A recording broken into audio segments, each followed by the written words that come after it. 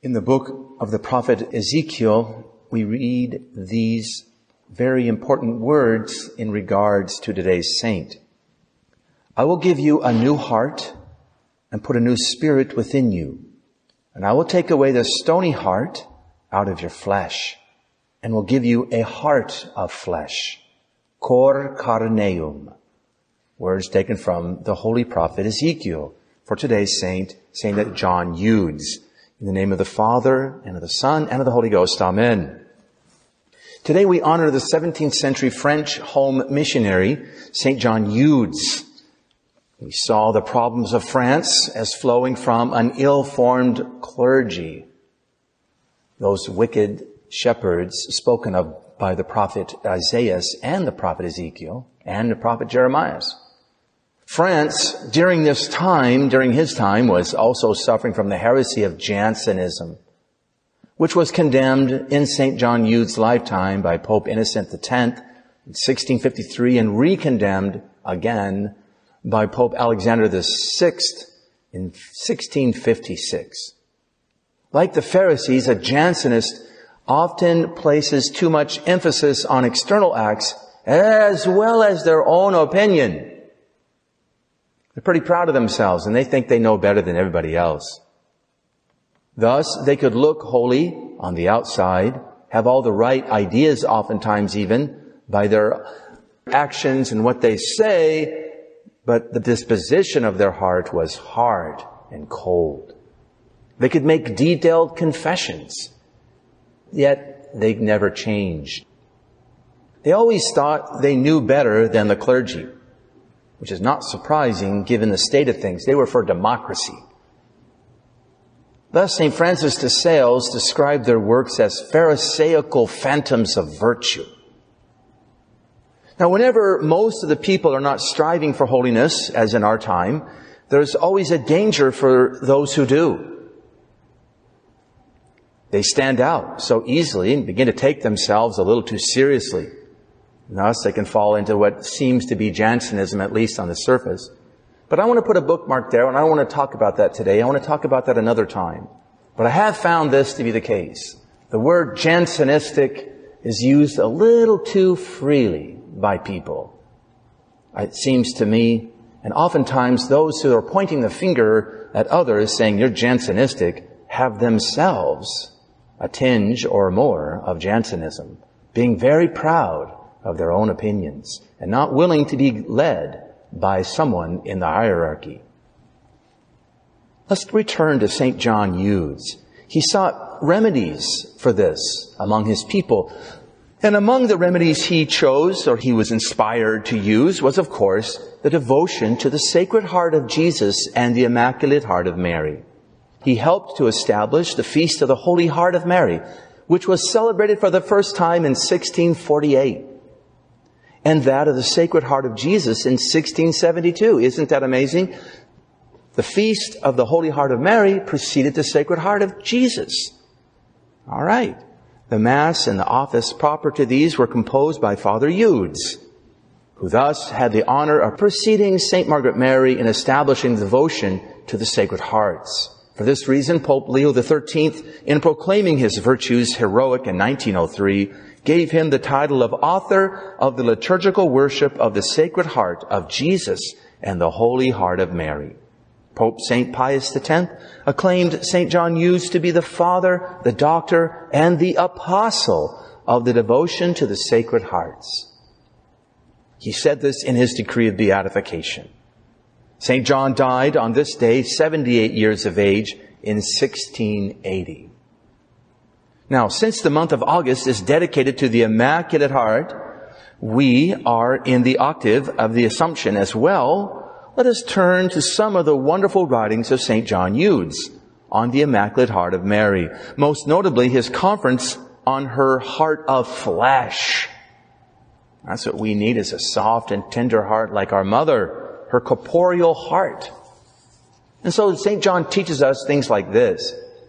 Just as everything in our Lord Jesus Christ is great and admirable, so also everything that concerns Mary, his mother, is replete with grandeur and marvels.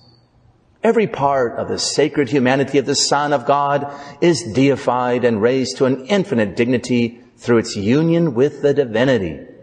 So likewise, everything in the Blessed Virgin Mary is ennobled and sanctified by her divine maternity.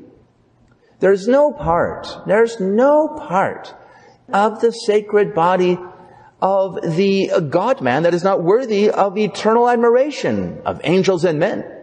And so, there is nothing in the virginal body of the Mother of God that is unworthy of the eternal praise of all creatures. We may therefore conclude that her blessed heart, first and worthiest part, is deserving of especial veneration. Now, he says, there are five marvelous prerogatives of the corporeal heart of Mary, which render it forever worthy to receive the veneration of men and angels. The first prerogative consists in the fact that the heart is the principle of life. Is it not? It's the principle of life of our Holy Mother, Mary.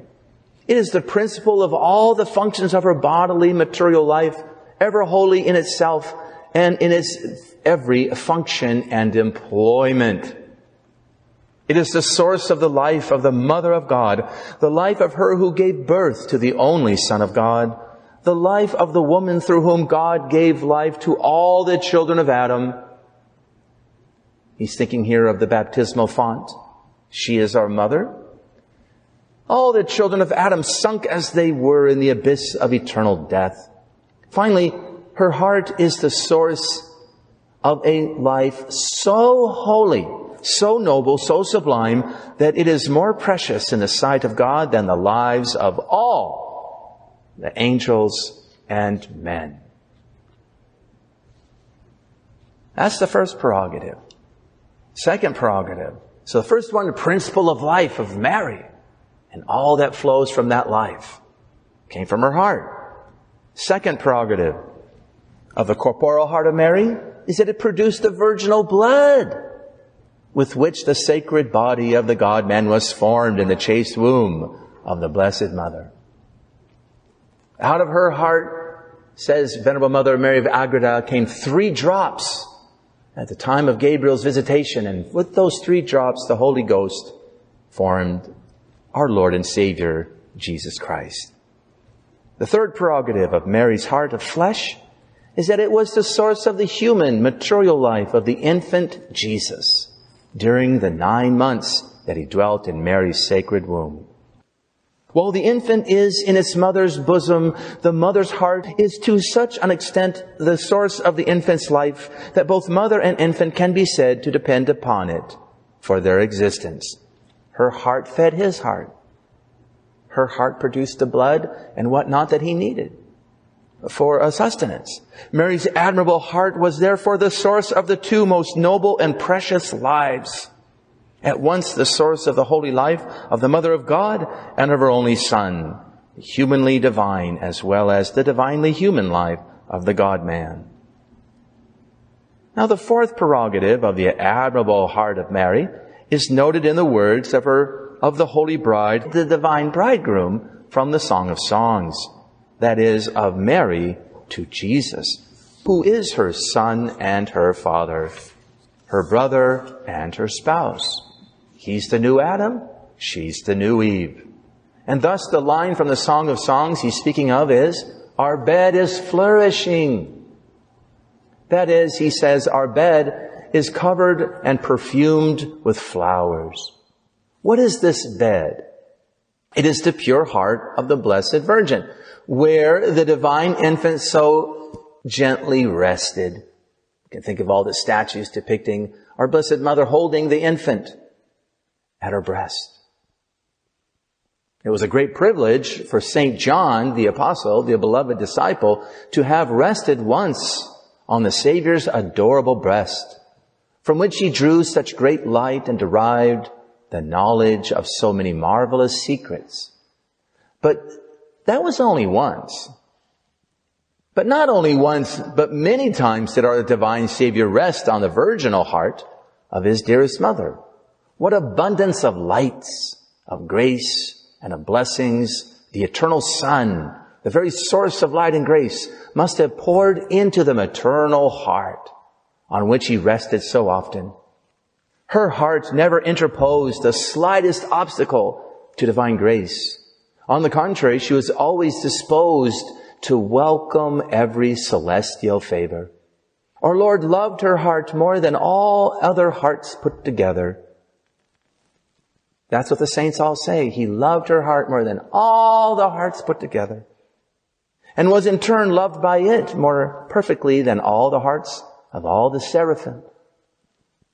Oh, what union, what intimacy, what understanding, what correspondence between these two hearts.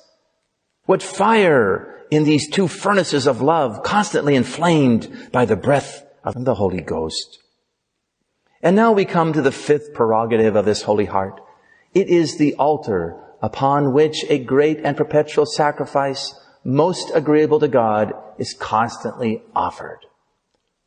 On it are immolated all the natural passions which reside in the human heart. Man's revolt against the commandments of God caused all these passions to revolt against ourselves, against our own hearts, to fall into such disorder that instead of being completely subject to the will, which is the queen of all the other soul's faculties, they often make it their slave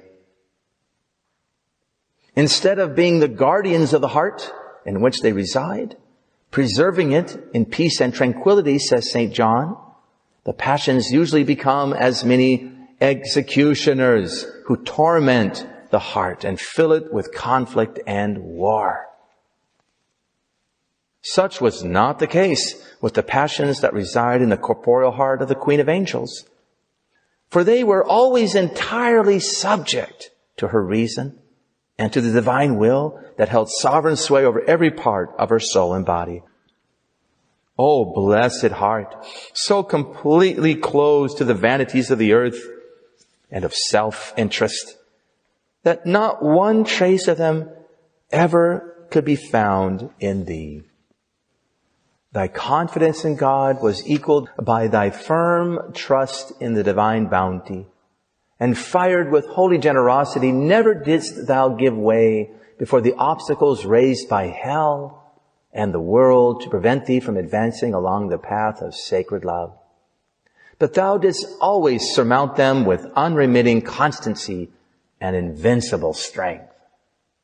Blessed indeed are the hearts of the true children of Mary, who strive to live in conformity with the most holy heart of their mother most admirable. Above all, what veneration is merited by the heart that God himself loved and glorified most highly, the heart that adored and loved God more perfectly than all the hearts in heaven and upon the earth for all time. May every heart praise and magnify thee forever and ever. Amen. Immaculate Heart of Mary, be our salvation. In the name of the Father and of the Son and of the Holy Ghost. Amen.